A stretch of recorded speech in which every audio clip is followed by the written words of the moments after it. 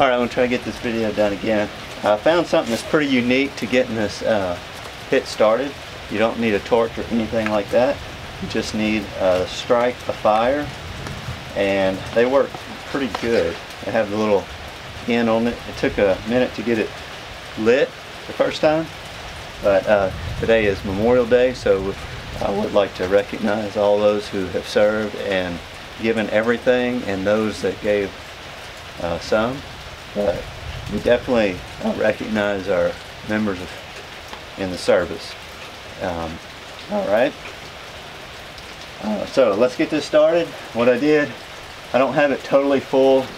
Uh, I still had charcoal left from the last burn. I had filled it up on that, I think I did the brisket last. This time we're doing uh, leg quarters again. And I also got that pie that I'm going to do in the cast iron skillet. I'll try to give you a little overview of what I'm doing with that. And uh, we'll, we'll get that done. It's really a treat done on the smoker. Uh, I've got the pit loaded with the pecan pellets and the royal oak lump. The royal oak lump works really good. I've had that little uh, expanded metal in the bottom there, so it works good. So now uh, the weather was not cooperating, but definitely slacked off a lot now. So let's see what we can do. It's got a little striker on the back, and it took me a couple, it's just like a match, so kind of takes a minute.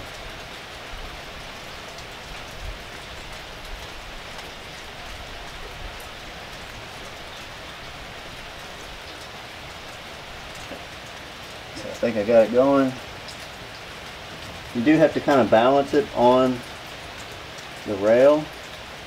And yeah, I had to break it. Just going to back it off about halfway and break it. Try not to knock it off the rail. I'm just going to double it up. Slide it all the way in. Alright, I think we're good, so we're going to go turn the fan on. Uh, this time I'm doing leg quarters, like I said, and the last time I did a, I think it was at 350, way too hot for this unit. I'm going to lower that way down, uh, probably 275, try to get a good smoke flavor. That was one of the things that I was missing. Alright, so that's it. It does have a little bit of a petroleum smell. We're going to go ahead and fire up the other side. Alright, got the controller set at 275. Current temp is 73. One thing that I have been doing is putting a piece of foil right here. I forgot to go to grab one, so I'm going to go ahead and close it up for now. And I'm going to come back. That's just going to help preserve, I mean it's just, it's cheap insurance just to kind of preserve this top part. Uh, let me go ahead and open this up. Yeah, don't forget to take these up. Alright, there's a little kill switch, so it turned off. Get any remnants of charcoal out so you get a good seal here. We're back up and running. I'm going to point out this thing, uh, we'll let it cycle through. Uh, 311 degrees on the smoker here. That's the thermocouple, and then you see error 5. So I haven't even read the manual on this, but at 300 degrees, it shows an error on the meat probe. So when you get above 300 degrees, if you just have the probe hanging inside there, you're going to get an error. And, you know, you're going to think there's something wrong, but there's really nothing wrong. It's just, I guess it's just telling you that your probe fell out of the meat. I, I guess that's what their idea was on this. So to go check it out. Probably gives you an alarm if you use the app. I wasn't able to hook the Bluetooth up to my phone. I didn't really try real hard, uh, but I did try to sync it probably half a dozen times. No success there. Let's throw this chicken on. All right, so we got 10 pounds of chicken, and I've just got it seasoned with some Paul Prudhomme's Poultry Magic. And a little bit of garlic and herb Mrs. Dash. I just really like that. Also got just a little bit of Italian dressing on there.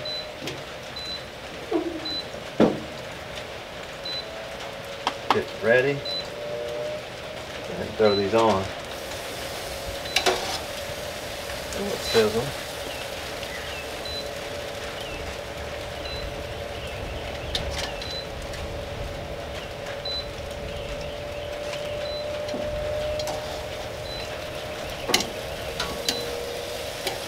Thing on, throw our probe in.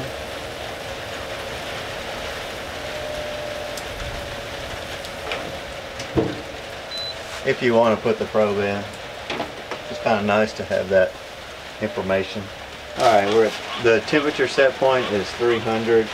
Uh, meat probe is at 47 and we're counting up. So we're going to leave it on here. Um, now it's at 309.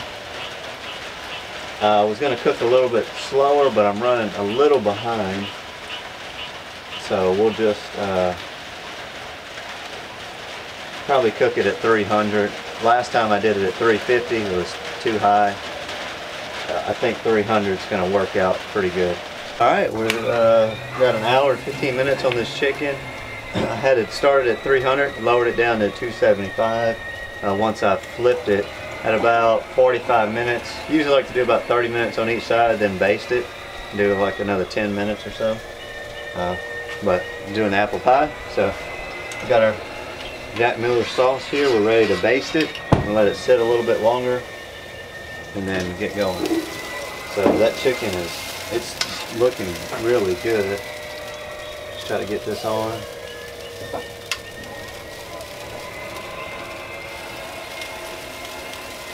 We got the sauce, about 10 minutes. So we're gonna go ahead and flip these over. Sauce the other side.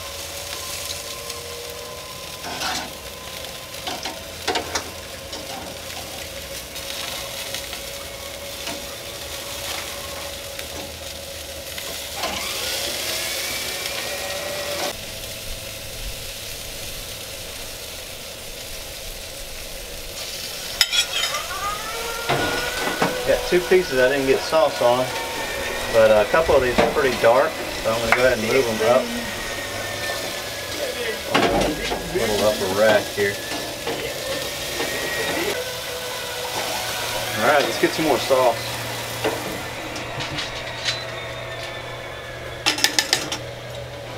Alright, I think we're getting real close on the chicken.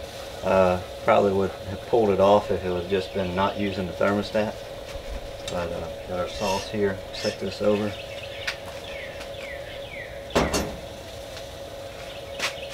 So the one particular piece that I've got the probe stuck in is showing 150. We're kind of ready to get going. So I'm just going to take my secondary probe and check some other pieces. Okay, so I did just crank the smoker up to 350. Um, just trying to go ahead and finish this chicken off because we're ready. Um, so I needed, probably should have had it on for two hours to get that temperature right at 275. So it just adds that time, but it also increases the smoke flavor.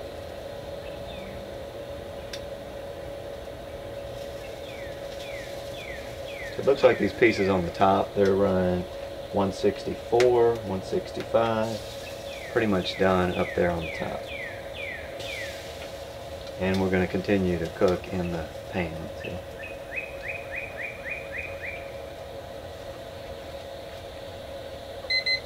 There we go. I'm going to go ahead and pull the top pieces off. That's the biggest one out of the top. Stick this.